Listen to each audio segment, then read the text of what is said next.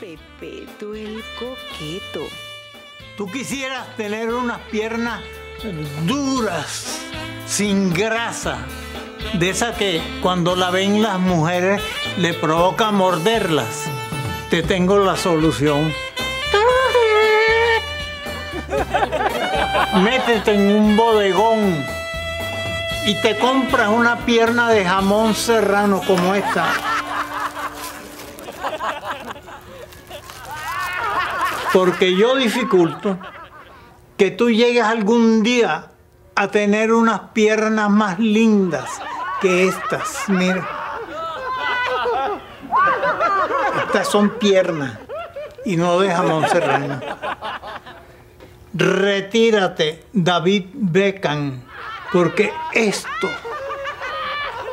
lo que está es nene que macho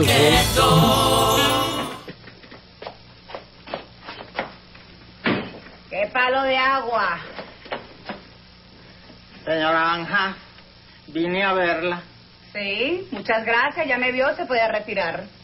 No, mire, yo vine a verla para decirle que yo me voy para mi casa porque mi esposa va a tener un hijo. ¿Sí?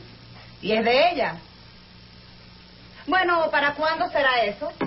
Si me voy ahorita mismo, dentro de nueve meses. ¿Sí? Hágame el favor, señor Félix Gonzalito, y regresa a su jornada de trabajo. Lleva medio segundo hablando estupideces. Retírese. Sí, pero ya yo trabajé 24 horas seguidas y yo necesito una hora de descanso.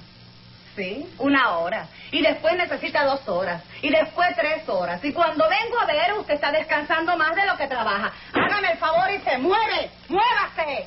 Yo no me puedo mover porque si me muevo se le cae la suela a los zapatos. Ay. ¿Y se puede saber por qué usted no se compra un par de zapatos nuevos? ¿Con qué me lo voy a comprar? Si yo aquí no gano nada, yo gano 3.500 dólares mensuales y eso no me alcanza para nada. ¡Cállese! Pero yo vengo a reconocer su triunfo. porque Este es el ganador.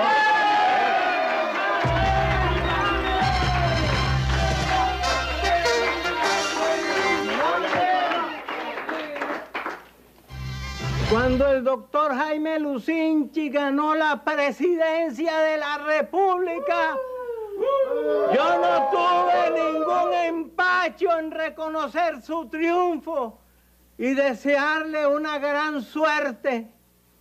A mí lo que me duele es que en esos momentos se quebró un espejo y él tuvo siete años de mala suerte.